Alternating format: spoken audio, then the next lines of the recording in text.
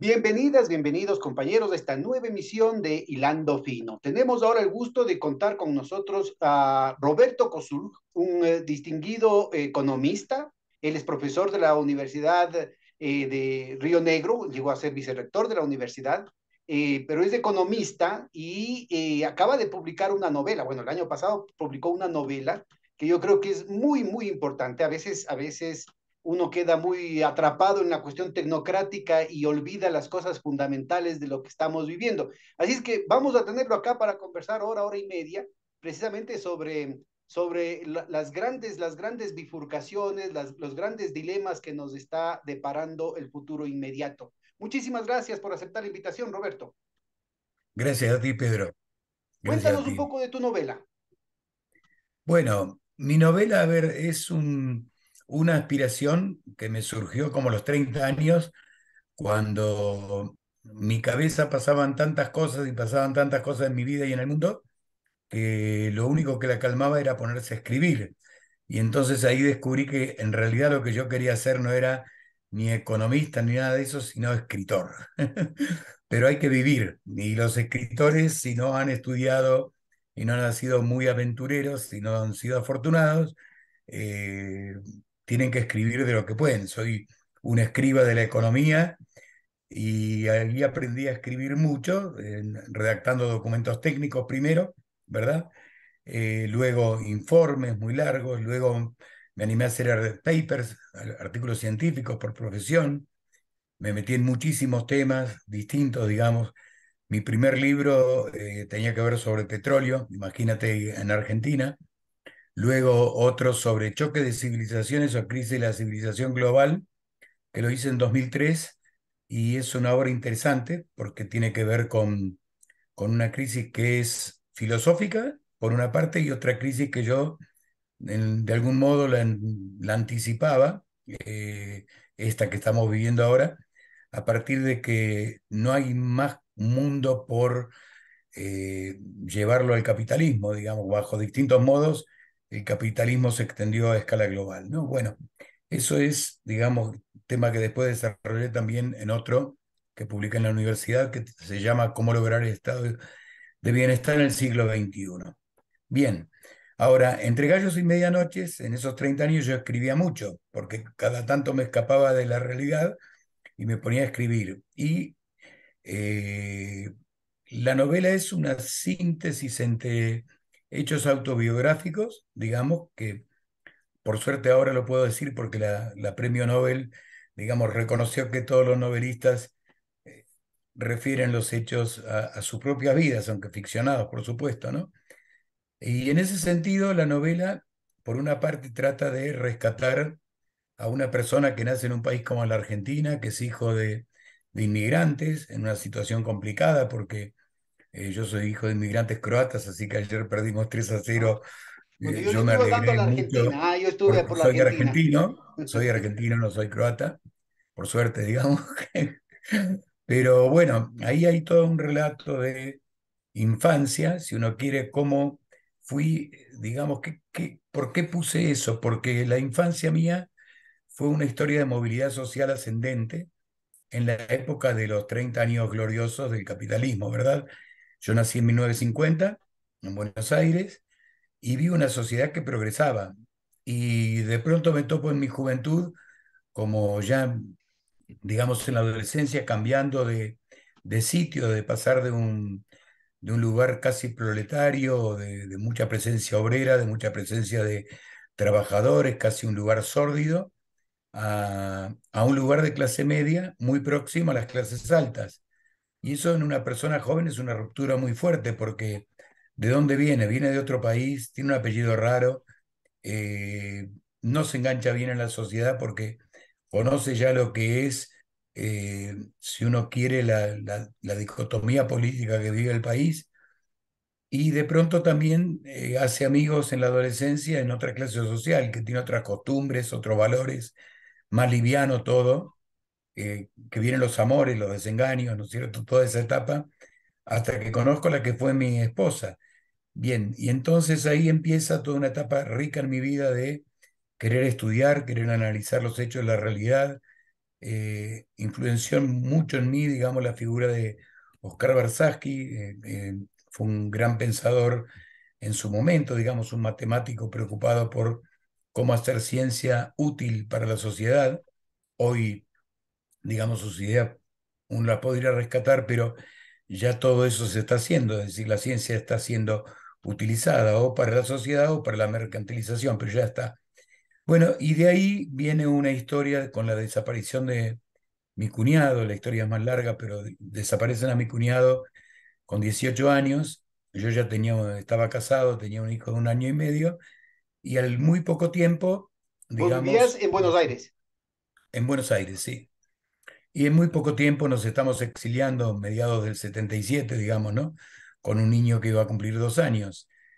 Y llego a Caracas y entonces ahí en Caracas me inserto, me inserto en el CENDES, primero, después en una consultora privada, pero eh, ahí viene en camino mi segunda hija y sucede una cosa muy trágica, que es que a, mi esposa, eh, digamos, tiene un accidente fatal, se vuelve, digamos, de una sesión de, de parto sin dolor, como se llamaba en esa época, y es arrollada, digamos, por unos muchachos que van en un automóvil y ellos la llevan al, al sanatorio y ahí nace mi hija y 13 días más tarde fallece mi mujer, 13 días en coma. Y suceden muchas cosas en ese entorno, digamos, ¿no?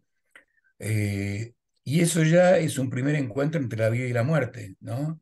La muerte, por un lado, ya de la sociedad argentina, de la desaparición, de las torturas, de las historias en el exilio, que son un montón. Yo creo que he conocido más gente vinculada a la política en el exilio que la que conocía en la Argentina, ¿no? Mucha más, muchísima más. Y entonces todo eso me lleva, luego, paso un tiempo, conozco a una muchacha, digamos, ¿no es cierto? Trato de rehacer mi vida ya con dos hijos, ya viudo, con un hijo de tres años, digamos, y la otra niña de unos seis meses, ¿no es cierto? Seis. Y, conozco a otra persona y como se dice en Caracas, nos empatamos, pues, ¿no? Y decidimos irnos a, a Italia, nos la jugamos toda, digamos, empecemos nueva vida, dejemos atrás el pasado doloroso de cada historia y regamos la vida. Pero ahí me pasan cosas muy curiosas. Primero, por supuesto, no consigo trabajo, conozco a muchísima gente, tomo contacto con, eh, alocadamente con con el jefe del Partido Comunista Italiano, que tenía su dirección porque el hermano había estado en Caracas, eh, con Aurelio Pechey del Club de Roma porque alguien me dio la dirección. Llevaba como 20, 30 nombres buscando, golpeando puertas para buscar trabajo. Nada, y ahí de pronto entonces la historia, digamos, vira hacia que la pareja quiere ir a Berlín, ella era alemana, y yo no quiero mucho ir a Berlín, pero voy por tres meses más y ahí también me suceden una cantidad de cosas raras. Antes en Italia me había sucedido algo muy fuerte de contacto con la naturaleza. Tú piensas en un muchachito, digamos, que nació en el adoquín, como dicen en Buenos Aires, calle de piedra, jugaba al fútbol eh, contra una pared, digamos, porque había un puente que cercaba esa calle. Eh, nunca había visto el campo más que cuando iba ocasionalmente por las rutas, digamos, en Argentina, pero no había vivido en un área despoblada y de pronto ahí en Italia, en vez de vivir en, en Roma, porque era carísimo el alquiler, me voy a un pueblo, Nemi, Nemi, un pueblo que mucho más tarde me enteré de que ahí nació la antropología clásica, ¿verdad? Y eh, bueno, y ahí me suceden una cantidad de cosas muy raras que, digamos, por una parte son fenómenos espirituales y hoy la ciencia los interpreta como un fenómeno de la mente. En verdad, es decir, el encuentro con la naturaleza y la, la vivencia profunda de que somos parte de, un todo. Eh, que esté en mi mente o que el mundo esté fuera de mi mente, no cambia en lo más mínimo la sensación de que uno ve que las criaturas viven y tienen una conciencia, y cuando ve, por ejemplo, un animal muerto, se pregunta dónde se fue esa conciencia, dónde estaba, estaba dentro del animal o estaba fuera, todas esas preguntas que son filosóficas. Oye, para que veas que esos no son temas eh, solo tuyos, ¿no? Eh, sin necesidad de intervenir ningún tipo de sustancia eh, específica. acá los colonos, los mestizos, los indígenas, en la Amazonía ecuatoriana sobre todo, tienen una palabra para hablar de ese encuentro tan especial, de esa epifanía que se siente al, al, al, al tener cierto, cierto momento específico con la naturaleza. Te cogió la manigua. ¿No has oído? Bueno. Bien, pues me cogió la manigua. Bueno, y eso fue tan transformador que prácticamente ya no me interesaba ninguna otra cosa sino tratar de entender de dónde venía esa experiencia y cómo repetirla, porque es muy fuerte. Es decir, ese primer encuentro ¿no? es más fuerte que un primer amor. Eh, con eso lo, lo, digo, no sé cómo decirlo. Cómo ¿Y eso te cogió en Italia? ¿En, en, ¿Eso fue en el campo o en la ciudad? En este pueblo en chiquito. el campo, en el campo, porque quedé entrampado. A ver, en Roma, imagine, piensa en los 80, crisis petrolera, eh, no hay trabajo, hay inflación, eh, los alquileres son carísimos y además no teníamos trabajo, no existía la, la, Unión Europea, o sea que el hecho de que mi pareja fuera alemana no mejoraba en nada la posibilidad de conseguir un trabajo. Eh, entonces eh, nos alquilamos una casa eh, en las afueras de Nemi, ni siquiera dentro del pueblo, sino en las afueras, en un lugar extenso, muy, muy, diría, hasta, hasta no, no bello, sino árido, como una, una, una, suerte de altiplano pequeño, digamos, ¿verdad? Con, si caminabas mucho llegabas a ver algunas montañas porque es en las colinas de Roma, digamos, en las, no en la, las siete colinas de Roma, sino en toda la zona de lo, que serían los lagos, digamos, ¿no? Eh, la zona de, de, los castillos romanos, eh, cerca de Castel Gandolfo, cerca de Velletri, cerca de eh, Lanubio, bueno, Nemi es un pueblo pequeño que vende fresas en verano. Eso es, eh, es una zona turística para los romanos. Pero yo no vivía en Nemi, sino en, una, en, un campo, en una casa de campo, una pequeña casa de campo. Y entonces era tanto lo que, digamos, salía a caminar entre entrevista y entrevista de trabajo y entre búsqueda de trabajo. No había internet, no había más que la casilla postal, porque si que era una zona rural tiene la posibilidad de recibir una carta, así que las cartas que yo enviaba a Milán, por ejemplo, o a la FAO en Roma, que me pedían que escribiera una carta en vez de dejar un currículum, tenía que ir al pueblo, a la posta, posta, a la posta, al puesto postal, digamos, a retirar la carta. Bueno, entonces esperar, tuve mucho tiempo de visitar los, museos romanos, ver obras de arte que no había visto, y sobre todo estar con la naturaleza y sentarme a contemplar.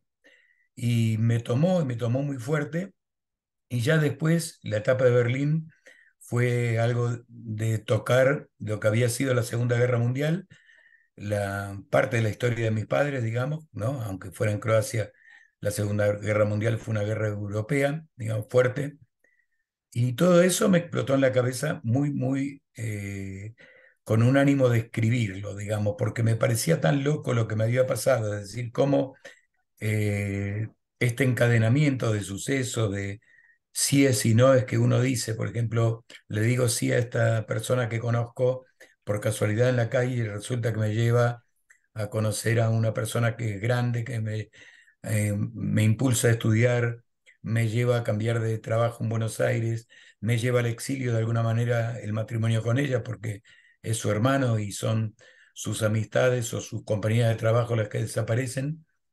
Eh, y de pronto este encuentro en Venezuela y de pronto la muerte en Venezuela, la vida y la muerte en un solo instante, la emigración nuevamente a Italia, un país desconocido, una aventura, el encuentro con uno mismo, con el universo, con, con el cosmos, la ida a Berlín, un lugar clave en la historia, porque veo todavía lo que es el Berlín oriental y los soldados, digamos, paseando con sus perros de un lado y del otro prácticamente una ciudad loca, totalmente loca. Eh, mira, estas vivencias, estas vivencias tan disímiles, estos, estos, estos cruces en el camino, estos encuentros en el camino, estas bifurcaciones, ¿cómo las vives en tanto argentino, cómo las vives eh, por ese, eh, esa herencia croata? ¿Has logrado ubicar vos un poco esas, esas, esas incidencias en tu vida? Totalmente como un argentino muy crítico de la cultura europea, sobre todo por su gran promesa incumplida, por una dosis de cierto de cierto cinismo, como una contradicción. Por una parte, me encanta, me encanta la, la cultura europea, me parece fantástica, me parece que ha logrado algo muy fuerte en la humanidad para ellos mismos y como intento transmitir al mundo y al mismo tiempo algo de muy decadente y de muy... Eh, con muy poco futuro, si uno quiere, frente a lo que es el, el mundo actual, ¿no? Bueno, con todo ese cúmulo de vivencias, entonces... Eh, Pero espérate, espérate, no, me responde lo otro. ¿Y lo de croata?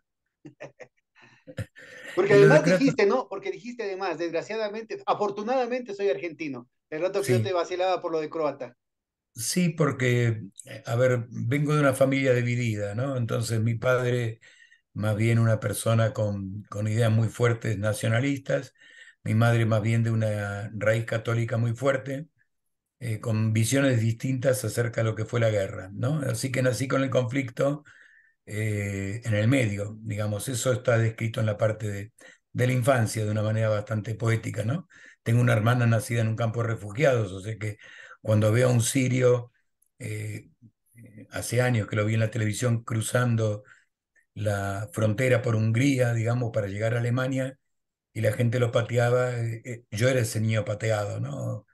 Eh, la empatía con, con el, que es exiliado, con el que es, eh, con el que no tiene patria de alguna manera me pega muy fuerte porque no me puedo sentir plenamente, eh, ni, ni, la herencia croata, no, no, no me gusta, no me gustan todos por lo menos, ni me puedo identificar plenamente tampoco con la sociedad argentina, tampoco, porque la sociedad argentina tiene como dos partes, una que es europea normalmente son personas que tienen valores que no comparto, y otra parte que es mi infancia, con la cual crecí, digamos, la gente más humilde, más pobre, a la cual aprecio mucho, pero que también tengo una distancia cultural muy fuerte. Entonces es como que... ¿Y cómo, ¿y cómo puede ser un apellido raro en un país de migrantes? Uf, eh, sí, eh, eh, es raro siempre en un país porque no es un emigrante italiano, no es un emigrante, es un emigrante de la, de la última generación de migración europea, digamos, ¿no? De una de las últimas, por lo menos. Después vinieron, digamos, cuando la crisis soviética venían muchos, muchos rusos a la Argentina, ¿no? Por ejemplo, pero eh, yo lo viví así como que éramos de la última, y además por la forma en que pronunciaban el apellido, por los chistes, por las alusiones, por la forma en que hablaba mi madre que no pronunciaba nada bien el español y bueno, cosas de ese tipo. Así que bueno, esto es la novela, eh, la parte autobiográfica, que la escribí eh, a partir de esos retazos en algún momento de mucha locura, despertándome todos los días a las 3 de la mañana, a las 2 de la mañana, para escribir hasta las 8 o 9 y después robándole cuando podía media hora de trabajo entre, entre un trámite y otro que no hay nada que hacer, que a veces se forman esos huecos, volvía a, a coger el manuscrito y a darle, y a darle, y a darle. ¿Y cuánto, y, cuánto, te, cuánto te sesgó el ser economista en el momento que escribías? Ah, eh, no, nada, para, para la escritura, nada. O sea, nada. Este, este, es un escape. E, este es, esta es la ambición de los 30 que tiene mucho más de, filosofía, de religión y de búsquedas personales, que creo que he leído más de eso, que, o tanto de eso como de, economía, digamos, ¿no? Y no me sesgó en, en, en, lo más mínimo. Lo que sí, eh, anticipé algunas cosas cuando lo escribí en 2019, que después cuando vino la pandemia, me fue inevitable eh, profundizar en el personaje, en el antagonista, Mr. Joe, que es eh, a ver, es una búsqueda muy rara que ahora estoy tratando de ensayar nuevamente. Cuando no quieres adjetivar a una persona o dártelas con una persona, sino con una clase de gente o con el sistema en sí mismo, tratarlo como persona es fantástico, porque todos los males le caben. Entonces el personaje se llama Mr. Yo, porque es el ego, es, la, es esta sociedad postmoderna o post-postmoderna, digamos, donde eh, esta, esta fiebre de la digitalización ha creado una generación nueva donde tú pones todos tus datos a disposición de todo el mundo, la gente saca una selfie por donde sea, todo el mundo cree que puede triunfar eh, siendo, haciendo marketing digital o, o posteando y, o buscando seguidores. Una, una, es peor todavía que creer que vas a triunfar en Latinoamérica siendo futbolista cantante, digamos, ¿no? Que le ha pasado a una generación. Es decir, todos van detrás de eso, nadie estudia. es el método de progresar seguro. Entonces, bueno, este Mr. Yo es una mezcla de eh, personajes que han surgido y que se hicieron muy fuertes en la pandemia. Eh, no, te olvides que estaba la era Trump, todavía, ¿no es cierto? En 2019 todavía estaba y surgían todos los temas de la polarización muy fuerte a través de, digamos, de los movimientos como lo de Steve Bannon, que lo voy a decir sin, sin problemas, ¿no? Un, un Elon Musk encarna un sueño de, de golatría enorme, más allá de que haya cosas buenas o malas que pueda estar promoviendo, eh, que raya, digamos, en algún punto el extremo del pensamiento de Nietzsche. Cuando Nietzsche escribe en Así hablaba Zaratustra, ya no somos, eh, no, me acuerdo de memoria, pero eh, habla de, la evolución en, en dos frases, tiene, marca lo que sería para él la evolución, no somos ni, ni gusanos, ni creo que dice ni simio, ¿no? Eh, y, y, digo que dejen de mirar hacia atrás, miren al superhombre. Y si hay una encarnación del superhombre son los Bill Gates, los Elon Musk, los, los Trump, es decir, esta figura tan fuerte, tan personalizada de lo que puede encarnar un sistema, la pongo en Mr. Yo, incluyendo eh, las perversidades, digamos, ¿no? Porque también estaba escandalizado por todos este, estos escándalos que aparecían con eh, personajes como Jeffrey Epstein, eh, Maxwell, ¿no es cierto? Todas estas historias de horror, de paraísos de placer, de jets privados que eh, se llevan chicas de 14 años, estafas piramidales con chicas de 14 años que por 100 o 200 dólares las llevan a la prostitución, digamos, ¿no? Un nuevo camino de ascenso social y es tremendo, más allá de, todo, de toda consideración. Y que a propósito, digamos, después que lo, lo, suicidaron a Epstein no quedó en nada, ¿no? Es decir, eso, eso quedó en eh, nada. está presa ella, pero todos los personajes que quedaron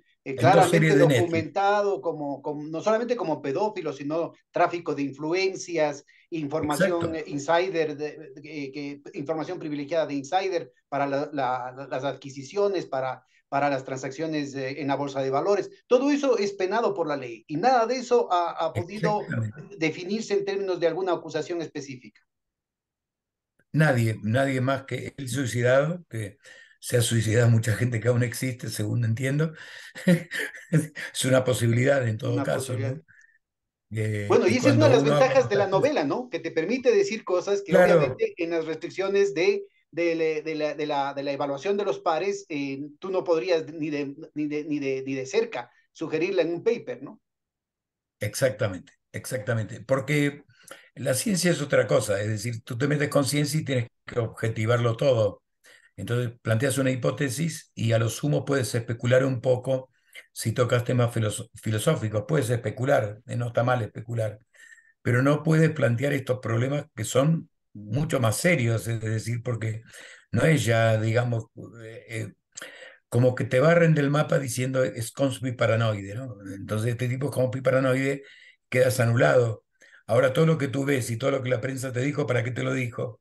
¿Para qué te dicen entonces que eh, hay un tipo que logró hacer una estafa piramidal o montó un esquema piramidal para llevarse niñas, digamos, ¿no? Niñas de 16 años, aún con la ambición o con el consentimiento de muchas de ellas, pero es un, digamos, es un proxeneta, ¿no? Pero por algo hay la definición, ¿no es cierto?, de responsabilidad civil que menores de edad justamente están protegidos por eso, pues, ¿no? Exact, exactamente. Bueno, pues cómo poner todo eso en evidencia en una novela. Entonces surge este Mr. Yo y sur, viene la pandemia. Entonces con todas las dudas que genera la pandemia y la sensación de que emerge un mundo nuevo, yo tenía muy claro esto de la revolución 4.0 lo venía estudiando y estudiando como profesor universitario y porque en algún punto me quedé corto con el estado de bienestar en el siglo XXI, eh, se me pasó la parte de la revolución 4.0, pero la tenía clara. Capitalismo, plataforma, lo tenía muy claro, pero es un tema que no, no lo, no lo incluí en ese libro porque en realidad mi intención era decir, miren, se acabó un ciclo de 70 años de prosperidad en donde buena parte de lo que es el crecimiento económico ha sido, tal como medimos nosotros el Producto Bruto Interno, esto ya no es novela, esto es otra reflexión lateral para que nadie se confunda, digamos, eh, donde la construcción misma de ciudades en nuestra América Latina, en Asia, en el mundo entero, ha sido parte del PDI. Y la gran pregunta es cuando eso se termina, toda esa gente a dónde va a parar. En, nuestro, en América Latina lo tenemos claro, va a parar a la primera generación de gente que vive en barrios marginales, con hijos que ya no son ni del campo, ni se insertan en la ciudad, y en una segunda generación están destinados al fracaso porque no hay sistema redistributivo que los quiera incluir. La gente los considera vagos, carne de cañón para la droga, etcétera, etcétera. Pues entonces ese es un mundo muy complicado. Eso está en eh, cómo lograr estado bienestar en el siglo XXI. Volviendo a la novela, Revolución 4.0 no es solamente Revolución 4.0, es la falta absoluta de propuesta de el Estado no está. A ver, pero eh, sobre todo para la audiencia, ¿cómo definirías, cuál es tu, cuál es, cómo, cómo resumirías eh, las características fundamentales de esta industria 4.0? Otros hablaban, me acuerdo desde hace mucho tiempo, no hablaban de la, de la, del 4.0, estaríamos en la, en, la, en la quinta, en la sexta, en la séptima revolución industrial. ¿Cómo definirías qué es lo, lo, específico de, esta, de este momento en el desarrollo del capitalismo? Bien, por un lado, la emergencia del capitalismo de plataforma, eh, digamos, el hecho de que hoy estemos hablando así, no, aunque la tecnología ya existía, no era tan habitual. Y dar clases de esta manera, con 100, mm, digamos, lugares en la pantalla, que tú vas moviendo la pantalla y ves quién asistió, quién no, o dar una conferencia de esta forma, fue un emergente de la pandemia, eh, en cierto modo masivo. Súmale a eso todos los instrumentos de control, es decir, todos los dispositivos fotométricos, por ejemplo, eh, fotométricos, eh, incluyendo, digamos, eh, el teléfono que tengo se abre con una huella digital o con la pupila de mi ojo, por ejemplo. el reconocimiento facial como técnica que no, no, es que los chinos son los únicos que la usan, ya la usan, digamos, después del 11 de septiembre se empezó a utilizar en los aeropuertos. Entonces, pero ya eso comercializado. Súmale a eso a un Elon Musk que plantea los robots, eh, que actualmente eh, compra Twitter y eh, despide a la gente y dice que se queden a dormir ahí, es decir, ya es el esclavismo que uno no, no, no se imaginaba, o sea, ya lo veía venir, pero a ese nivel de, de, de perversidad de decirlo como si fuera la meritocracia llevada al máximo, es decir, yo invento, yo innovo, yo controlo el mundo porque soy capaz de quedarme al lado de mis trabajadores sin dormir. Pero el trabajador tendrá la misma motivación o está desesperado o quiere ascender y el resto de la gente que, cuando lo reemplace un robot, por ejemplo, ¿no? Eh, ¿Qué va a hacer el resto de la gente? Ingreso universal. ¿Y cómo se va a repartir esa riqueza? ¿Qué institución la va a repartir? Los estados, eh, cuando han sido progresistas, han sido atacados por corruptos. Entonces, la paradoja, ¿no? Es decir, tenemos corrupción cuando gobierna un gobierno populista y la gente lo cree, y resulta que fugan capitales al por mayor y, los organismos internacionales eh, no dicen nada, prestan para que fuguen capital y tienen la experiencia de la reforma rusa en el 90, tienen la experiencia de la convertibilidad en la Argentina y vuelven a repetir lo mismo en la Argentina y encima toda la ciudadanía endeudada. Argentina cuenta con tres procesos de estos. Eh, a la salida del gobierno militar, el mismo personaje, Domingo Cavallo, el fin de la convertibilidad lo vino a poner él y el corralito lo pone cuando ya todos los dólares fueron barridos de la Argentina. Eh, no, es así, esa es la historia de Argentina. Eh, con, muchas cosas más que ya no, no, no, no, quiero agregar, digamos, porque no, no quiero politizar demasiado esta, este, no, politiza nomás, aquí no hay problema, pero cuéntanos, ¿cómo, ¿cómo arma esto el contexto de tu personaje? ¿Y qué reflexiones, a qué reflexiones, a qué, a qué, a qué reflexiones? Es la, suma de, es la suma de todos los males, es la suma de todos los males. Pero ¿qué reflexiones te convoca, digamos, la, la posibilidad de, de, hacer ficción, la posibilidad de hacer literatura, qué reflexiones te convoca en la, en la novela que no pudieras hacerlo en, en, en, el, en, el, en el lenguaje técnico, digamos, de la economía? Mostrar el hilo de una subcultura donde las personas son impunes, por ejemplo, pueden violar a una persona, dejarla muerta y no hay quien los persiga. Ah, tiene que haber mucha evidencia y posiblemente la persona que vaya tras esa persona termine muerto. Esa es una, digamos, ¿no? Eh, toda una trama de cinismo muy fuerte, muy fuerte, de asimetría, toda una trama de cómo domino a mi prójimo. Es decir, si bien Foucault dijo hace mucho tiempo que la motivación del poder, etcétera, los amos del discurso, bueno, yo quiero poner de relieve que hay unos nuevos amos del discurso eh, que lo dominan tan bien y con tanta sutileza que gire para donde gire la pelota siempre ganan, que inclusive están llevando a una transformación, supuesta transformación social a gran escala. Eh, parte de esta, de esta transición, tú me decías el 4.0, yo creo que tiene que ver con el tema cambio climático y sin ser un negacionista de que este es un tema importantísimo, nadie puede desconocer que tras de eso hay una industria gigante produciendo equipos y vendiéndolos. No somos los latinoamericanos. Y en la bolsa de valores, ¿no? Los bonos de carbono. Aquí, aquí tuvimos un dirigente indígena que reivindicaba, inclusive se cambió de nombre con un nombre quecho, este, para, para poder promocionar supuestamente todos estos temas eh, progresistas, la cuestión indígena, la cuestión ecologista, la cuestión feminista, pero resulta ser que toda esta defensa de la naturaleza era porque quería vender la bursatilización del agua, así como los bonos de carbono, ¿no? Entonces hay poderosos intereses detrás de las más altas, de las más altas causas, ¿no es cierto?, que las prostituyen justamente para llevar el agua al molino de la especulación. E, exactamente, no, no solo de la especulación, sino, a ver, una cosa que yo tengo clara es que los países ricos lo son porque tienen una trayectoria histórica que empezó, digamos, si uno quiere, con su fuerza colonizadora o su fuerza bruta. Pero más adelante ha sido el dominio de la tecnología y ha sido el descubrimiento necesario, digamos, evolutivo en economía, de que sus propias escalas de producción para sus mercados internos son insuficientes para hacerlos crecer. Entonces, ellos necesitan de los mercados mundiales. Y el capitalismo de plataformas ha hecho que estos mercados mundiales se puedan expandir en cualquier tipo de bienes, pero sobre todo en bienes de muy bajo valor. Es decir, eh, había un dicho para el mendigo hindú que era el one dólar por persona. Es decir, un mendigo que pide un dólar por persona por día, eh, con 30, hace 30 dólares por día, que 900 dólares por mes en India es mucha plata, ¿no?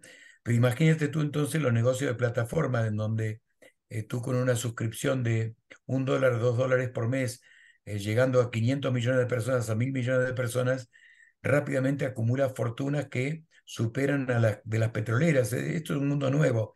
Un mundo nuevo que además tiene el poder de influenciar mucho sobre las mentes, no solo a través del uso de inteligencia artificial, eh, sino construyendo justamente imaginada, siempre salen ganando porque no los toca nadie, están por afuera, flotan en el espacio por fuera de eso. Hay algunos, eh, algunos y, autores, sobre todo en el campo de economía y de distinta formación, digamos, eh, como Brenner por un lado, o Varoufakis por otro lado, Ananda por otro lado, decir, y muchos comentaristas de derecha, sobre todo, que eh, sostienen eh, ya no solamente un capitalismo de plataforma, sino la constitución de un neofeudalismo, de un tecnofeudalismo.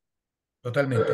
Lo, decía Humberto Eco, la Edad Media ya está aquí, hace muchísimos años, creo que en los 90, cuando estaba en la Fundación Bariloche, tenía un amigo que cada tanto me acercaba cosas curiosas porque sabía que yo era muy curioso y me, decir, me molesta, lo desconecto, es decir, tal cual como se desconecta un paciente en estado de coma, digamos. esa, esa, omnipotencia, esa omnipotencia se refleja también en una, en una prepotencia, en una arrogancia, eh, que justamente hace, está directamente conectado con esto que mencionabas hace un momentito, el cinismo, ¿no?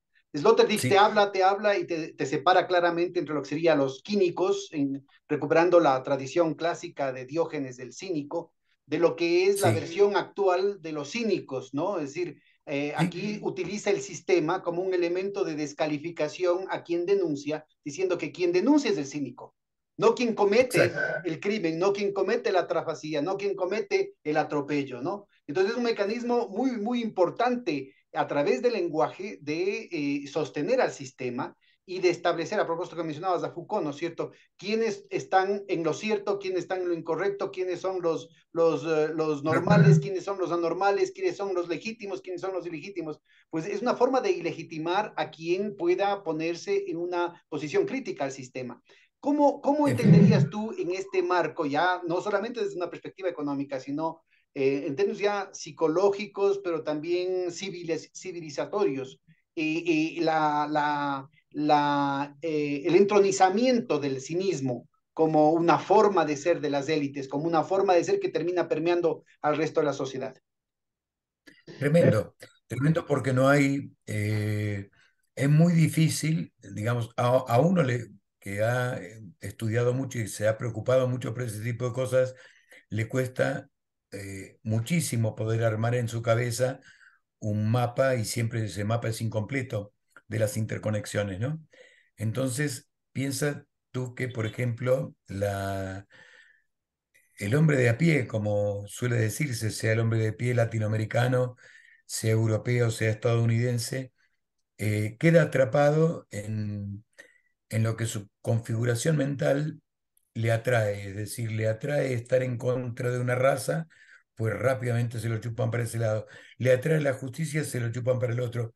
Pero siempre eh, lo pueden manipular. El poder de manipulación se ha vuelto muy grande y frente a eso yo contrapongo justamente el libro, el sentido del libro, volviendo a la novela, es contraponer la riqueza y lo fortuito de una vida humana como las trayectorias políticas, históricas, dónde tú naces, a quién conoces, eh, por qué decir ir por esta bifurcación A y no por la B o por la C, te lleva a otra que tiene otra letra que a su vez se abre en un ramillete de posibilidades y te va marcando la trayectoria de la vida y te va haciendo quien tú eres a partir de tus propias decisiones. Y mi gran pregunta es si eso termina ahí y el gran duelo es, ¿cree inteligencia artificial que realmente va a poder con todo su procesamiento de datos, extraer algo que el hombre no haya puesto previamente, entonces, si, si lo hace, va a multiplicar el error. Por eso el personaje, digamos, termina muriendo por un error suyo que pasó inadvertido. Eh, no podía ganar el mal. Garbage in, garbage out. Claro, game out, ¿no? Pero esa es la novela, es el mensaje. Uno busca sembrar esperanza y no desesperanza, porque yo creo que no hay nada peor que, eh, que justamente al hablar demasiado de estos problemas que cada vez son más hiper complejos, eh, más la idea de la creación de superhombres, es decir, a partir de modificación genética, de, que los ricos van a vivir de una manera muy distinta y con un acceso muy distinto a cierta posibilidad de experimento a partir de, de la utilización de otros, sean experimentos genéticos, sean experimentos eh, de tipo muy raro, bastante parecidos al nazismo, digamos, ¿no?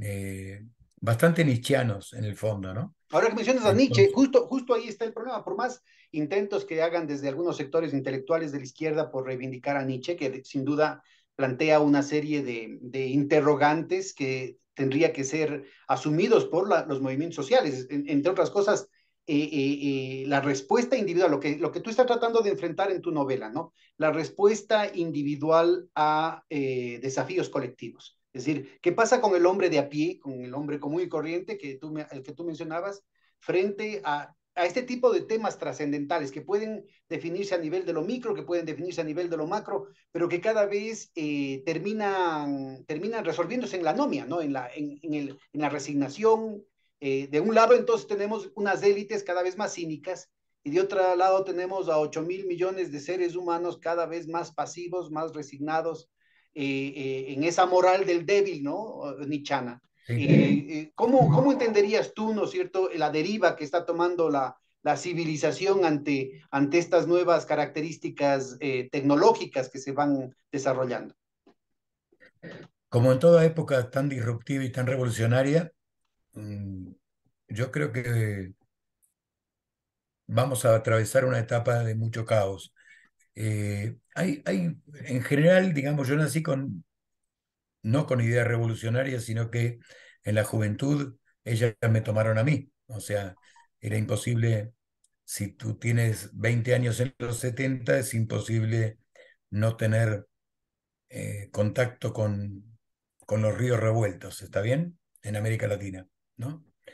Tú ves los experimentos sociales, te enganchas con los experimentos sociales de Allende, ves cómo cae Allende, ves que en Argentina rápidamente, digamos, emerge toda una cosa confusa y que trae mucho caos, mucha violencia, mucho golpe militar, etc. Eh, y ya con el tiempo maduro te ves una película como, eh, no sé si tú la has visto, la recomiendo en general verla, que es Peregrinación por los Caminos del Dolor. Eh, es una obra de Tolstoy, no del Tolstoy, de León Tolstoy, ni de su primo posterior, sino de, un Tolstoy que era jefe de prensa en la época soviética. Y entonces eh, es una película muy bella porque marca cómo emerge, digamos, en la Rusia presoviética, eh, la, qué es lo que significa la preguerra mundial, de la Primera Guerra Mundial, eh, cómo se llega a la Revolución de Octubre y qué es lo que sucede después.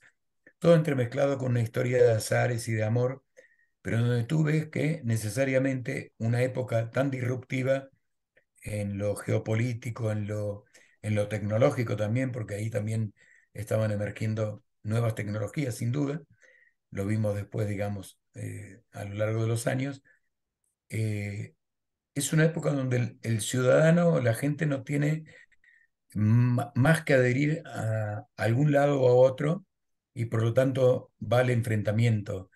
Y de ese caos normalmente surge algún tipo de, eh, de autoritarismo, por lo menos es lo que ha sido, es lo que ha pasado siempre, ¿no?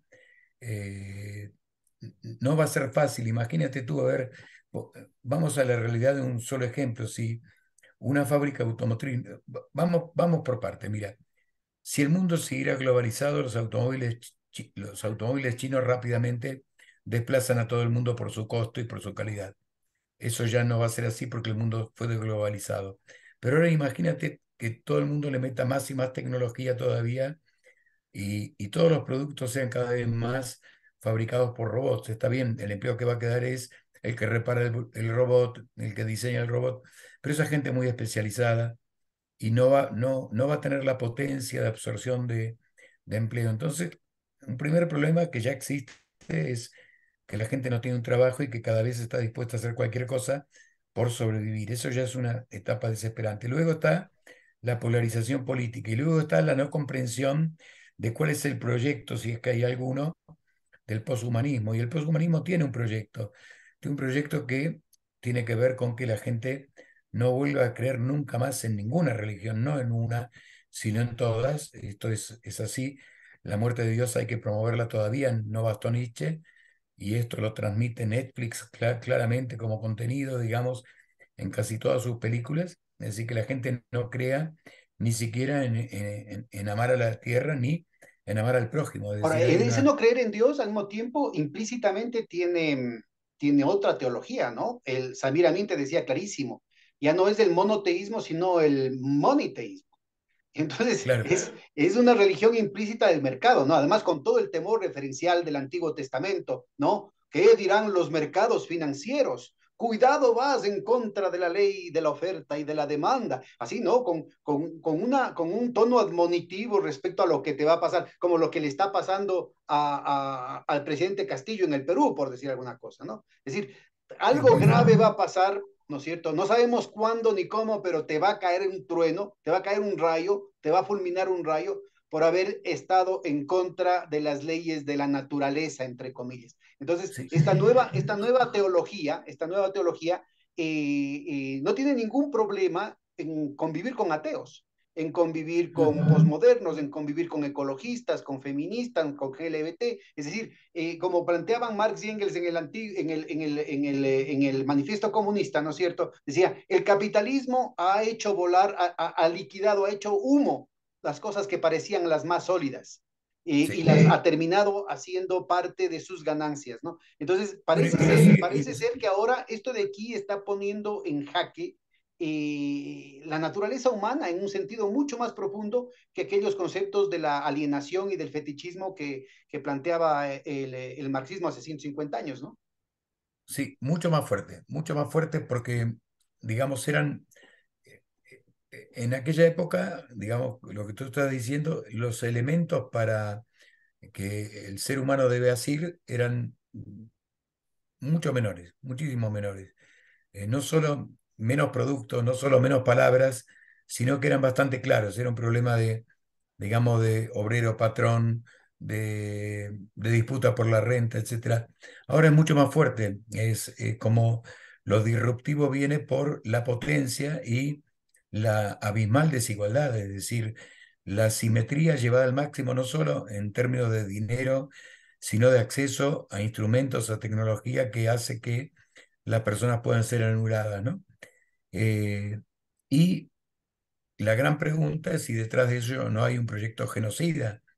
Eh, y, lo digo con, no se me cae la cara de vergüenza ni de que nadie piense otra cosa, porque eh, si uno va a los primeros escritos anteriores al Club de Roma, eh, Tú tuviste una amistad del Club de Roma. Cuéntanos, cuéntanos. A ver, por ejemplo, vamos, vamos, eh, como decía Jack el Destripador, vamos por partes, ¿no? Porque ha estado muy rica tu conversación y yo me he estado mordiendo la lengua para no interrumpirte, pero en realidad vale la pena, vale la pena, ¿no es cierto?, ir, ir eh, profundizando algunos temitas, así que yo creo van, que van a ser una, un delicatessen para nuestra audiencia. A ver, vamos viendo el tema del Club de Roma y todo ese tema de, que ahora está directamente vinculado con el, el, el, foro de Davos, ¿no? Y el tema del gran reset, de la, del gran reinicio de Klaus Schwab.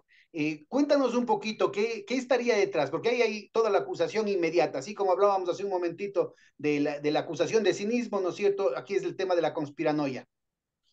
Bueno, cuando Paul Ehrlich en los 60 escribió La bomba de la población, se vendieron no sé cuántos millones de ejemplares, ¿verdad? Y el discurso de que somos muchos en el planeta, uno se lo escucha a la gente de, de mejor buena fe. Somos muchos en el planeta, somos es mucha gente. Y tú ves que, digamos, hasta en las redes sociales esto de buscarse una mascota, cuidar una mascota, ser vegano, eh, tiene una fuerza ideológica impresionante. Y cuando tú le preguntas, pero tú te pones a pensar que detrás de esto estás destruyendo posiblemente trabajos, empleos, formas de ser, eh, la gente no importa. Es decir, eh, se está instalando una ideología de que la gente no importa. Y esa, esa ideología de que somos muchos, el Club de Roma fue uno de los primeros en plantearlo. Es decir, si somos muchos los que consumimos, eh, los recursos son finitos. En realidad, hemos visto que los recursos hasta ahora no han sido finitos para nada. Es decir, nos salimos de los combustibles fósiles porque nos dicen que contaminan mucho, pero si no, no, digamos, no es porque se agotaron los recursos fósiles. Se agotan los recursos minerales o los alimenticios, no, suben los escalones de producción. Sin embargo, todo el mundo dice que se agotan, es decir, que se agotan. Las tierras cultivables siguen teniendo frontera de expansión. Por supuesto que el, digamos, hay una autorregulación que la gente digamos, ni siquiera mira, digamos, la urbanización ha producido familias más pequeñas, a nadie ya se le ocurre tener muchos hijos, e inclusive tenemos un Elon Musk provocativo que dice que el peor problema va a ser que vamos a ser pocos en el planeta, ¿no? Bueno, esa es, esa es la eh, última, contra, contra lo que es ahorita el, el, paradigma oficial, digamos, de la academia y de, los discursos. Provocativamente. En los hechos, en los hechos el propio informe de Naciones Unidas, las estimaciones de población del 2019 de Naciones Unidas, muestran claramente una eh, reducción a la baja de todas las proyecciones, por ejemplo, de la tasa de fecundidad, que en la mayoría de países, ya no solamente el caso, por ejemplo, de China, el caso de Japón, que estaban anunciados, ya no solamente el caso de la Europa Oriental, incluyendo Rusia, después de la caída de la Unión Soviética con toda la desmoralización que eso significó, sino en los Estados Unidos, en los países europeos, en, inclusive dentro de los Estados Unidos, por ejemplo, grupos demográficos triunfadores, ¿no? ¿no? Los winners, no los losers. No estamos hablando ni de los latinos ni de los negros, estamos hablando de los WASP, ¿no? En una situación de tremenda, de tremenda tristeza, de tremenda depresión, diríamos, existencial, ¿no es cierto? Tienen una reducción de sus tasas de fecundidad muy por debajo de las tasas de reposición. Pero lo mismo sucede de pronto también en América Latina y de pronto sucede lo mismo en la India.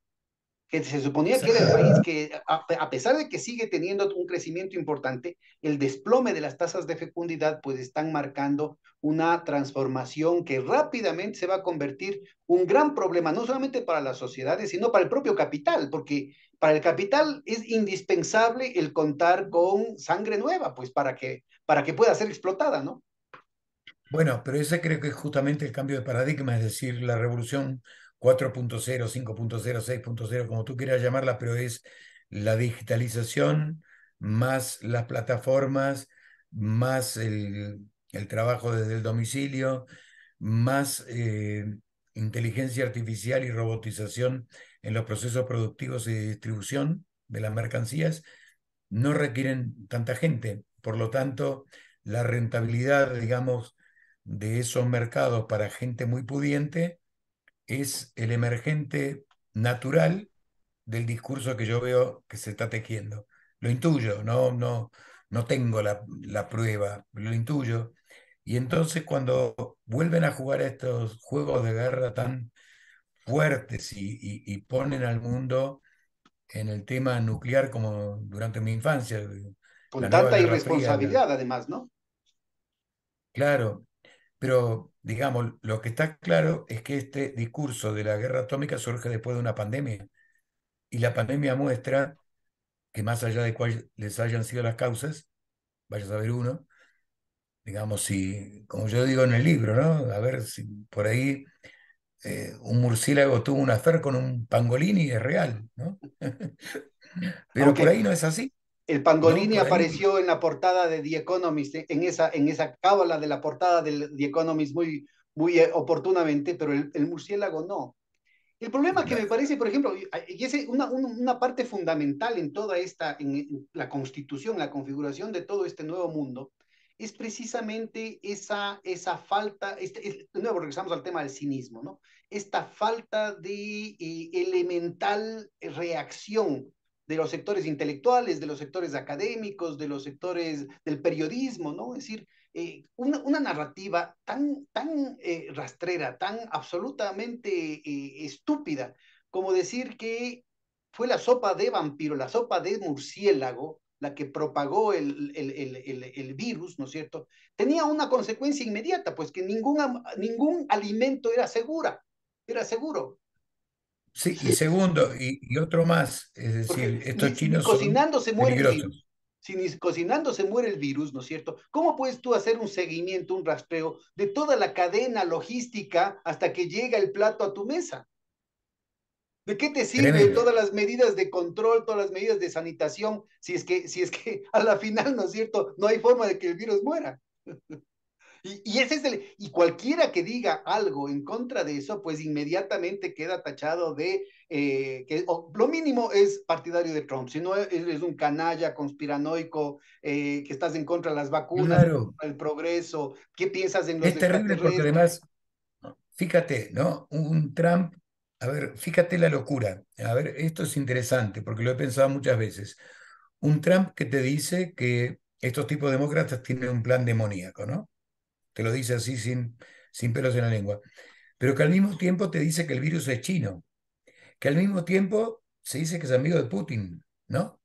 Que él hubiera tenido menos problemas que Putin. Ahora, ¿dónde te pone eso? ¿Dónde, no? Y por otra parte, tú tienes a, a Putin tratando de hacer alianza con, con los chinos y los chinos tratando de que los americanos no, no los constriñan tanto. Bueno, y las últimas revelaciones, que más bien dicho, que se están confirmando en los últimos meses, eh, los laboratorios de armas biológicas en Ucrania, resulta ser que eran laboratorios privados, eh, encontraron 48, y esto lo confirma Victoria Nuland, no es la propaganda de Putin, sino que en una, en una comparecencia ante el Senado, Victoria Nuland reconoce que hubieron los laboratorios biológicos en las zonas eh, de Ucrania, ¿no es cierto? Que lo grave es que caigan en manos de los rusos, pero que ellos no tenían ningún problema en fabricar armas biológicas. Pero resulta ser que eh, la compañía privada, la transnacional privada, que está detrás de los laboratorios biológicos en Ucrania, es la misma transnacional que está detrás del laboratorio biológico norteamericano en Wuhan. Y resulta ser que en ambas el accionista era Hunter Biden, hijo del presidente Joe Biden. Entonces, ¿para qué? No hace falta los conspiranoicos, es decir, las agencias de prensa norteamericanas no le dan obviamente seguimiento a estas, a estas noticias bomba, ¿no es cierto? Pero ahí, está la, ahí está la evidencia, ¿no? Cada tanto encuentras, cada tanto encuentras una joya. Eh, la denuncia que le hizo Trump, por ejemplo, a, a Biden era por el tema del gas, ¿no? Y los 400, y bueno, y el tema del gas, es decir, que Europa ya no le compre más gas a Rusia, favorece a Estados Unidos que quiere exportar y ser el mayor exportador de GNL por encima de Qatar o asociado a. Y, ya está en marcha eso, como el gas como punta de la transición energética, ya está, ya está hecho. Down, dirían los americanos, ¿no? Listo, tarea cumplida. Así que digo como que estas agendas se mueven en capas sucesivas. Si las denuncias todas juntas es un conflicto paranoide. Si las muestras de puntitas caen en que se suicidó Epstein, en, entre que el hijo del presidente de Estados Unidos tuvo problemas con las drogas y después se hizo un yuppie, un gran negociante como otros tantos que son iguales que más da, que nombre tengan. Pero quiero decir, todo eso cae en la nada porque en el fondo... Y que, el, príncipe, el, el, príncipe Andrés es el hijo travieso de la reina Isabel, pero que todas son cosas... Pero lo reconocen y lo limpian. Entonces, el tema es que el capitalismo tiene este vigor de, las economías de mercado, de, eh, que tiene su parte de verdad, tiene su parte de verdad, que el consumidor elige, que el ciudadano dentro de todo es más libre, ¿no? Así cuando el ciudadano que no tiene trabajo es libre de morirse de hambre. Pero bueno, ahí, ahí nos, nos, toca ubicarnos en qué tipo de ciudadano. Tú hacías referencia, ¿no es cierto?, a una película en que nos situaba en la Rusia presoviética. Eh, y el punto es qué tan válido es hacer, porque cuando hablamos de un individuo, de un sujeto, de un ciudadano, a veces eh, nos olvidamos de situarnos, ¿no? Es decir, una cosa era un individuo, ¿no es cierto?, eh, solitario, desolado, enfrentando problemas que lo rebasan, que lo abruman, en una Rusia en el que el individualismo, ¿no es cierto?, estaba totalmente restringido por, primero por el, el, sistema operativo, que es eh, el, el, cristianismo ortodoxo, ¿no?, en el que el tema de la comunidad, el tema de la totalidad de la madre patria, eh, eh, pesaba muchísimo más que lo que está pesando ahora, que ya ha pasado carros y carretas. Sin duda. Pero por otro lado, ¿no tenemos, tenemos algo, este, Karl Kosik decía, ¿no? El homo economicus, a propósito de los economistas, ¿no? del, individuo eh, que individualmente, eh, eh, atomísticamente, quisiera hacer una redundancia redundante aquí, el individuo que individualmente puede individualizar su consumo, ¿no es cierto? Y que ahí se resuelve, ¿sí? No, no es solamente una aberración de la teoría, es una aberración de la realidad, porque el capitalismo nos está produciendo como sujetos, ¿no es cierto? No solamente que produce objetos para los sujetos, sino que también produce sujetos para los objetos. Y parte de esta producción de sujetos, eh, eh, a medida que se desarrolla el, capitalismo y pasamos al turbocapitalismo y al neoliberalismo, lo que tenemos es una situación en que esos individuos cada vez se individualizan más, cada vez pierden raíces, pierden contexto, pierden trascendencia, pierden horizonte y se resuelven en el mero consumo, en, ese, en, ese, en ese problemita que estudiamos los economistas eh, lavados del cerebro por los neoclásicos, ¿no? De, de tener eh, que elegir entre cañones y mantequillas y ahí se resuelve la vida y ahí se resuelve la historia y ahí se resuelve el mundo. Eh, de pronto nos cae, nos cae en la cara, ¿no? Nos chirlea en la cara una pandemia, nos chirlea en la cara eh, eh, una, la posibilidad de extinción con una guerra nuclear y nos chirlea en la cara eh, una crisis alimentaria que, todo el mundo la, la, anuncia, pero nadie toma ninguna acción para prevenirla. Se vienen los cuatro jinetes del apocalipsis, Roberto. E, efectivamente, entonces digo, hay que leer el discurso del año cero de Davos, del año 2020, con mucha atención porque ahí dicen que eh, claramente, digamos, ¿no? Es decir, de la destrucción nació una nueva sociedad, es decir, casi hay un vaticinio de que hay, de que la destrucción está en el aire. Yo no sé si tú te has percatado la cantidad de noticias que hablan de la extinción, de la extinción de la Tierra, de cuándo nos vamos a extinguir, de que inteligencia artificial descubrió cuándo nos vamos a extinguir. Basta el titular, cuando tú lees la noticia, por supuesto que detrás no hay nada pero el titular que producen es que estamos en extinción. Entonces, ¿qué quiere decir eso? que, que en algún punto hay alguien que nos quiere extinguir. Claro, porque el subtexto, mira, yo creo que es importante además ubicar esto, ¿no?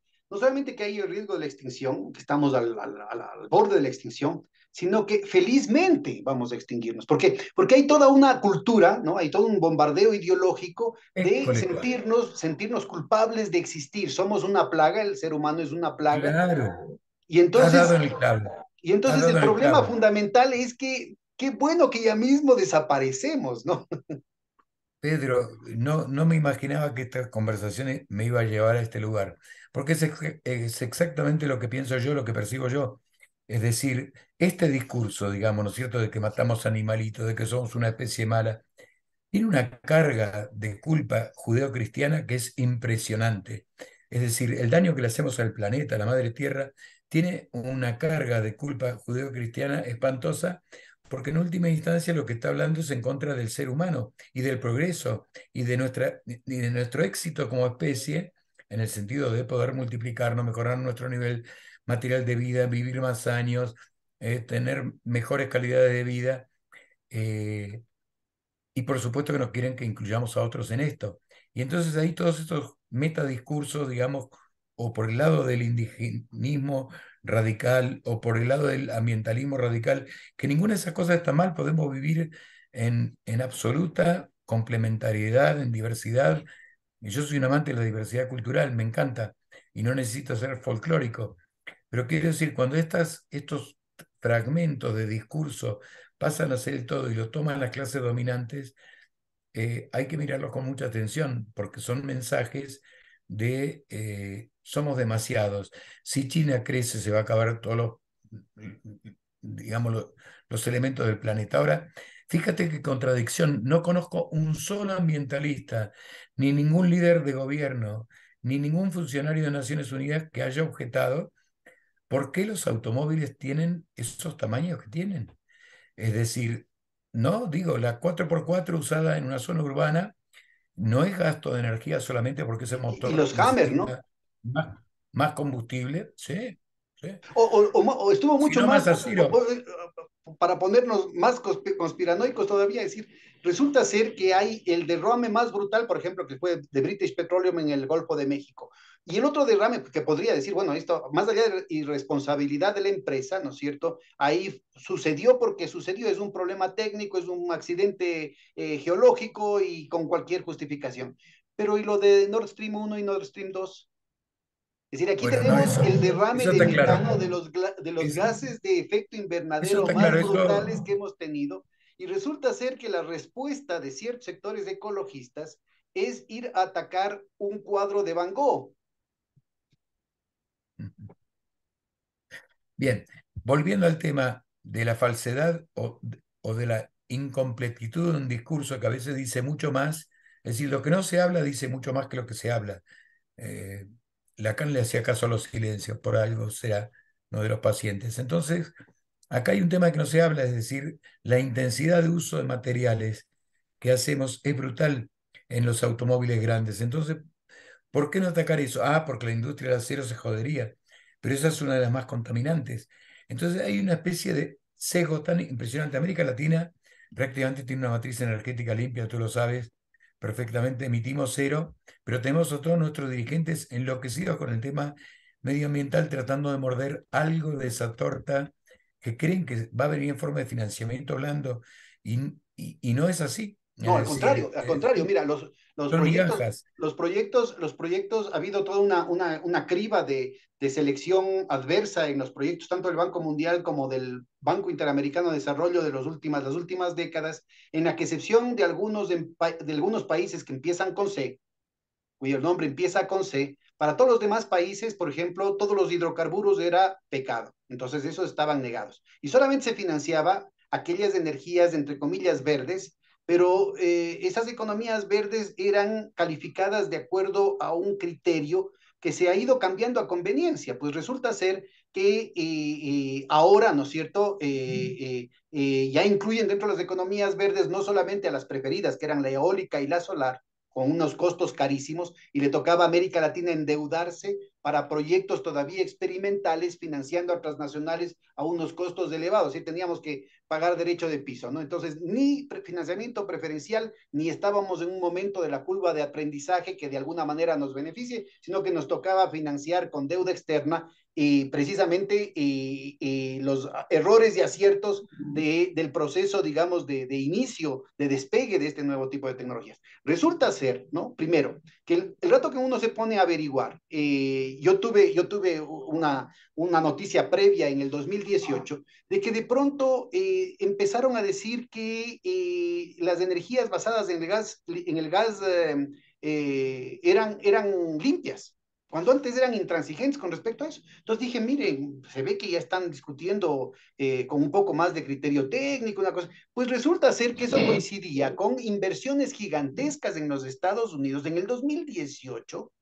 para exportar gas a Europa, cuando Europa no necesitaba gas. Y coincidía con esa imagen que han reproducido muchísimo de Trump en, en la Asamblea General de Naciones Unidas, uh, muy admonitivo, sentenciando a los alemanes que se les reían en la cara, eh, verán ustedes lo que se, en lo que se están metiendo por comprarles el gas a Rusia. Pues aparece como una profecía autocumplida, ¿no es cierto?, que incluye a, los más, a las más altas banderas de los mayores valores, digamos, de la humanidad, eh, expresados por algunos eco ecologistas, tanto a nivel de la burocracia, de la tecnocracia de la Comisión Europea, como de cada país en particular, específicamente de, de Alemania, como de los movimientos sociales ecologistas. Sin duda hay sin duda hay excepciones y muy valiosas, y que se han quedado en esa cuestión. Ahora resulta ser que hasta Greta Thunberg está hablando de que la energía nuclear es energía preferible, ¿no es cierto? Porque, porque ya toca, pues, ¿no? Entonces, eh, resulta ser que eh, eh, las conveniencias son mucho más apropiadas que los principios y que la urgencia eh, inmediata de que se acababa el mundo eh, porque seguíamos comiendo carne, que eh, se acababa el mundo porque un país como el Ecuador se atrevía a, después de siete años de tratar de, de, de, de, de concertar un, un, acuerdo mundial para dejar el crudo bajo tierra y después de siete años dice, pues ya no nos queda otra, tachado de traidor por las redes de ecologistas a nivel internacional, pues resulta ser que si es que se trata de los países desarrollados, está muy bien que se regrese no solamente al gas y a la energía nuclear, sino también al carbón. Claro, sí, sí. Bueno, ese tipo de, asimetría en los discursos, lo mismo uno podría decir con respecto a la energía subsidiada, es decir, la, la esquizofrenia que hay es, es, fantástica, ¿no? Porque si quieren transición energética, los europeos que la paguen, y esta crisis les hubiera venido bárbaro, porque aumentan los precios de los fósiles aceleren ustedes entonces a, a, ver cómo meten esa cantidad de renovables rápido en el mercado para que haya energía ya, digamos, ¿no? Ese tipo de contradicciones surgen continuamente de tal forma que tú no puedes identificar eh, un solo discurso coherente y los que son coherentes son de los malos, siempre son de los malos. Entonces, eh, este problema de, de maniqueísmo que ha aparecido, digamos, ¿no es cierto?, con China, con Rusia, con Irán, eh, como el eje del mal, digamos, es algo tan trabajado, tan, tan elaborado, en donde los mismos pecados, digamos, que si desde los valores occidentales eh, van a juzgar a, Irán, los tienen también eh, Qatar, por ejemplo, o los tiene Arabia Saudita, los tiene cualquier país musulmán que Finalmente lo, que, lo, que, están haciendo cotidianamente los propios Estados Unidos, Inglaterra y Europa Occidental, ¿no es cierto? En términos de cuáles son los niveles de contaminación que tienen, cuántos son los, los, los niveles de eh, emisión de gases de, de, efecto invernadero. Es decir, todo está enfocado, ¿no es cierto?, a, a, a deslegitimar el derecho que tienen los pueblos al desarrollo.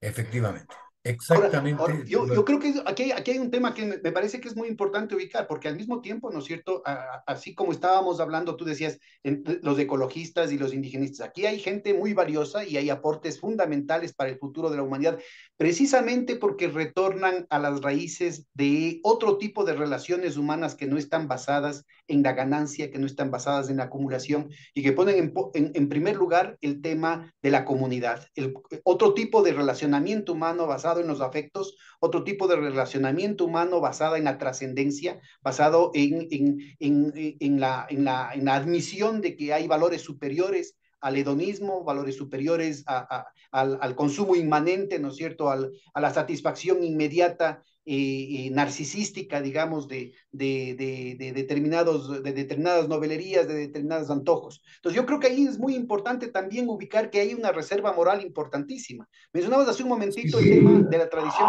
eh, judeo-cristiana. Yo te diría, ¿qué tradición judeo-cristiana, ¿no es cierto? Porque esa tradición judeo-cristiana está desechando pues buena parte de lo que fueron los elementos emancipadores de, de, de, de, esa visión profética del Antiguo Testamento y sobre todo de lo fundamental del Nuevo Testamento, ¿no? Es decir, el ágape, no, amor al prójimo, ¿no es cierto? Ahí como elemento central de lo que serían las enseñanzas de Jesús y que han sido lastimosamente desechadas por la jerarquía eh, eclesial hasta que viene el Papa Francisco, que abre una situación importantísima de recuperación de lo que fueron los valores iniciales del cristianismo primitivo, ¿no es cierto? Y que, sin embargo, eh, eh, está cada vez más solo, está, eh, tiene que enfrentar las puñaladas por la espalda, el que le dan la vuelta, ¿no es cierto?, sus propios peligreses, sus propias jerarquías, y que desde la pusilanimidad, desde la mediocridad, ¿no es cierto?, le dejan el mensaje tal vez más importante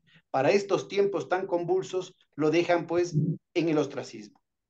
A ver, a ver si podemos, eh, a ver, decía algún filósofo, digamos, ¿no? Que cuando eh, los paradigmas, digamos, son complejos y uno los quiere cambiar, hay que tener mucho cuidado porque cuanto más uno los manosea, es como la miel.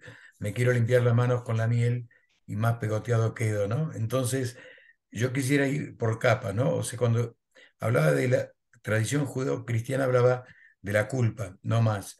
Es decir, ojalá hubiera un rescate de esos valores de la comunidad, por una parte, que el cristianismo se manifestaron como solidaridad, no como caridad, como solidaridad, como, eh, a ver, eh, eh, lo dice el Evangelio, que, que, es una locura, cada frase que uno quiere decir tiene que anticipar en su mente que le van a decir a uno que son fundamentalistas. Yo, lejos de ser evangélico, pero a ver, si el Evangelio Jesús dice, no busquen los primeros lugares, ¿no es cierto? Eh, los últimos serán los primeros, se refería a la actitud de servicio.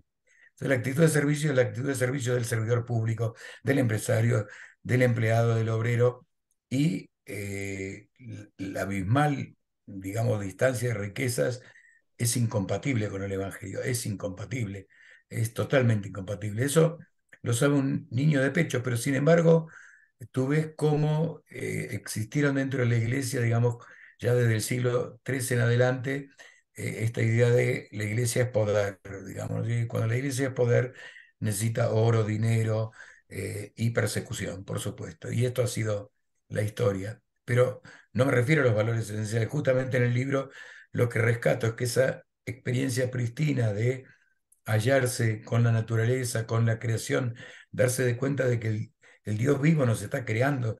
No es que esté arriba en el cielo y no en la tierra, está en todas partes, nos está creando. O sea, si mi mente es capaz de tener una reacción frente al dolor, es porque algo me preparó para eso, la evolución. Ahora, ¿quién guió la evolución? No conozco un ingeniero, digamos, que haya hecho inteligencia artificial por fuera de esto.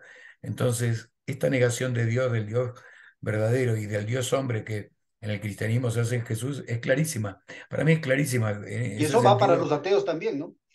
Y eso va para los ateos. Porque mira, ahí hay una actitud fundamental que, que sería eh, eh, eh, una receta clave para, para este sistema, que, esta máquina de deprimir a la gente, ¿no? Esta máquina infernal de deprimir a la gente, que es ágape, que no es solamente el amor al prójimo, sino el amor en fiesta, de, de, de, el amor al prójimo en la fiesta, en la celebración, en la celebración de la vida, en la celebración de, precisamente de los afectos, en la celebración de posibilidades de encontrarse en, en la diferencia, ¿no? incluyendo a esto. El encuentro humano. El encuentro creo que también... Además, el encuentro humano, el encuentro humano, no solamente en, la, en las diferencias, sino en las deficiencias, ¿no? Eh, eh, eh, el encuentro humano del, del rabino, del rabino, del rabino que además algunos lo plantean como esenio, purísimo, ¿no? Blanco, purísimo. Sin embargo, que buscaba a las prostitutas, a los leprosos, a los publicanos. Eh, yo creo que ahí hay un punto, hay un punto fundamental, un mensaje fundamental. Cristianos, eh, ateos, budistas, musulmanes, este no es el punto. Aquí lo que estamos planteando es en términos políticos. desafíos fundamentales que se nos están presentando, ¿no es cierto? Y que... Eh, Lo que tiene que ver con la crisis de valores. Son inmediatos y que tienen que ver con esos valores. Tiene que ver con la crisis de valores porque eh, eso, a ver, es incompatible en cierto modo, digamos, entender que en la vida estás de paso y que tienes que pasar, si tú quieres, de forma modesta y no arrasando con todo. Eh, son dos actitudes. Y el capitalismo, digamos, estimula o ha estimulado más, pasa arrasando con todo. Él es el triunfador. Pero con este nivel de desarrollo tecnológico, esa actitud es destructiva y además es asimétrica, es decir, es como eh, la creación del subhumano. Y la creación del subhumano ya lo vivimos eh, con Hitler, es decir, cuando Anna Arendt pensó en que el mal, digamos, eh, es, está de alguna manera en el mismo momento que se admite un sistema o se admiten ciertos valores, yo creo que es ahí donde tenemos que mirar. el, sistema no funcionaría si no hubiera gente eh, que, la siga eh, o que caiga tan fácil en la trampa. El problema son las generaciones jóvenes, porque esta generación de, de, jóvenes ha, nacido descreído, con razón, porque ha habido muchos escándalos, digamos, en torno a la iglesia, las iglesias, mucha mentira en torno a eso también, mucha mercadotecnia en torno a religiones y a juntar dinero, como tú decías, el, dios Money, ¿no? el, el Money teísta, pero también a una concepción del mundo en donde, a diferencia de lo que pasó en nuestra época, que vimos que los procesos industriales requerían de tiempo, de trabajo, de esfuerzo, el obrero yendo a la fábrica, estas generaciones jóvenes no ven eso, no, no ven un obrero yendo a la fábrica, viven muy lejos, en, las urbes grandes los obreros viven muy lejos, no viven en la, puerta de tu casa, viven en otros barrios, son invisibles. Y las cosas en Internet son inmediatas. Tú pulsas un botón y el retorno de la respuesta es inmediato. Entonces, la noción de proceso no la tienen, no la tienen y eso es gravísimo porque eh, el cambio social, o sea, lo que nosotros de alguna manera todos hemos buscado eh, y, posiblemente tenemos que aprender mucho de los que fueron los, errores de las revoluciones, digamos, y los horrores que produjeron. Pero si queremos un cambio aún dentro de las democracias, pasa por el cambio del ser humano, es imposible sin eso. Y ese cambio es lento, pero lo, ¿cómo le explicas a alguien que quiere las cosas ya? Que, las quiere ya porque eh, eh, toca un botón y tiene la información que cree que es veraz. Eh, toca un botón y hace una compra porque tiene una tarjeta de crédito con un poco de fondos. Que puede hacer dinero comprando una criptomoneda que de pronto, no sé, lo compró cuando valía 0,25 y de pronto tiene 10 millones de dólares en su cuenta y si lo sacó a tiempo los tiene. Eh, este es un desafío para mentes gigantes, o sea, para, para que la gente lo piense, lo y, y que tienen que ver Y que tienen que ver ya, y que nos, involucran a todos, ¿sí? ya no es un problema solamente de los intelectuales, sino que involucran al ser humano, digamos, como, como especie, ¿no? Al, sujeto especie que hablaba Marx en los, los, manuscritos del 43, del 44. Es decir, aquí hay un problema, este desarraigo, este, este extrañamiento que empieza con la división entre ciudad y campo, con, entre trabajo manual y trabajo intelectual, eh, ahora alcanza no solamente facetas superiores, sino que en un futuro muy cercano, estamos hablando de generaciones que tienen que enfrentar eh, eh, un dilema que yo creo que aquí es existencial, sin, sin precedentes en la historia, que implican la división de la especie humana. Porque no solamente que estamos hablando de la singularidad, del transhumanismo, sino del hecho de que podrían, aquellos que tienen plata, ¿no es cierto?, podrían generar una manipulación genética que los diferencie, que los diferencie en tanto especie del resto de los mortales. De los, los cabecitas negras no solamente podrán eh, eh, cambiar, ¿no es cierto?, con un proceso político, con un empoderamiento, con un buen sistema de, de bienestar, ¿no es cierto?, de seguridad social, de salud, de, de, de higiene, ¿no es cierto?, de nueva ropa, de, educación, sino que ahora tendrá eventualmente que franquear barreras genéticas. ¿Cómo entiendes tú y cómo enfrentaste en tu novela, ya para ir cerrando el, encuentro, eh, Roberto? No, eh, digamos, yo lo que quise, creo que la primera etapa siempre es visibilizar algo que está invisible. Es decir, cuando muy poca gente ve que algo es un problema, es el momento de decir esto es un problema. Digamos, por ejemplo, Harari lo hizo en su libro en donde eh, a mí no me gusta mucho porque no me gustan mucho los relatos de la historia, digamos, los relatos, ¿no? Es decir, querer en el relato. No me gustan los relatos, digo, admitamos que todo es un relato, pero mm, todavía me gusta más cuando la ciencia es dura, digamos, ¿no? Cuando va el dato duro y puede demostrar las cosas y no hacerle perder valor a eso. Yo creo que es muy importante hablar de estas cosas, es decir, visibilizarlas y decir, y volver a hablar de lo que está bien y lo que está mal. Es decir, a ver, ¿cuál es el mérito que, que tiene un tipo que quiere ser disruptivo con un futuro que nos puede llevar al mismísimo demonio, digamos, con respecto a aquel que me construyó mi casa, que me repara la calle todos los días para que yo pueda caminar y no tropezarme? ¿Cuál es el mérito, digamos? ¿no? Yo creo que lo que hay que discutir es el alcance, la diferencia en la distribución del ingreso por los supuestos méritos individuales. Y, bueno, y, y, mostrar que es absolutamente eh, inmoral, digamos, ¿no? Es absolutamente no ético, incompatible con cualquier creencia en el bien, en el bien, y, me, juego por esa palabra lo que estoy diciendo, ¿no es cierto? El, poder crear mecanismos para evadir lo que es una obligación solidaria que ha construido la civilización. No, no hace falta ir al comunismo.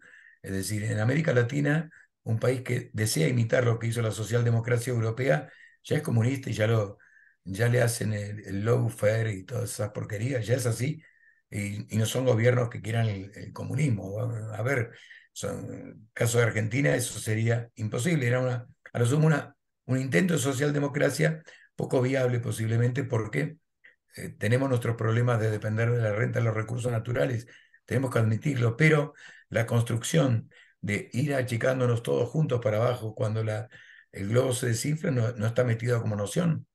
Es decir, ahí tiene que sufrir el pobre, porque el rico egoísta eh, o de clase media egoísta quiere seguir manteniendo su, su punto y ahí es en donde se va a dar la batalla.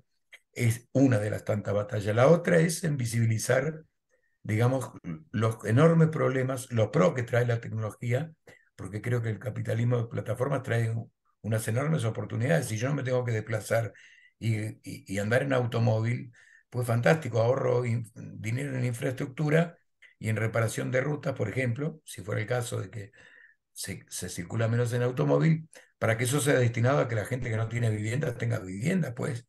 Sea, es un ser humano, eh, perdón, pero hace pipí, caca, eh, se enferma como uno. Eh, hay que vivir en las comunidades. yo creo que todo el mundo tendría que hacer algo así como uno, dos años rurales. Un la año vida no vale nada si no podemos hacer que se me, fueron, se me fueron ahorita los versos de, de, Silvio Rodríguez. La vida no vale nada eh, si el otro no puede tener lo que uno disfruta y ama. Por ahí va la cosa, ¿no? Por ahí va la cosa. Así es. Se nos va el tiempo. Yo no pensé que íbamos a hablar de tantas cosas. Bueno. No estaba preparado. Temas, temas, temas muy inquietantes, Roberto, eh, eh, muy provocativos. Aquí era una conversación muy fresca. Yo creo que hemos, hemos cumplido con el cometido, hemos, hemos generado una serie de, de pullas para nuestra audiencia, para que conversen, para que discutan, para que haya una polémica, para que consulten, ¿no? Este, cuéntanos dónde se pueden encontrar tus libros. Uy, complicado. Se puede, eh, la manera más fácil y accesible es, digamos, en, eh, por Google Play. Entonces accedes a la versión electrónica. Porque si no es por Amazon, digamos, y es a un costo alto porque no sé por qué lo hice pensando, digamos, que, que la editorial iba a jugar mejor de lo que ha jugado, digamos, pero bueno. Bueno, entonces para, para nuestra audiencia, choques de civilizaciones, el estado de bienestar en el siglo XXI y esta novela, cuéntanos el nombre específico con el que tenemos que buscar en la novela. La extraña vida de Zlatan Gregorich. El, el, alter ego de Roberto Cosul. Muchísimas gracias, Roberto, y hasta Adiós. la próxima emisión de Hilando Fino. Un gusto, Pedro. Adiós. Muchas gracias por el espacio.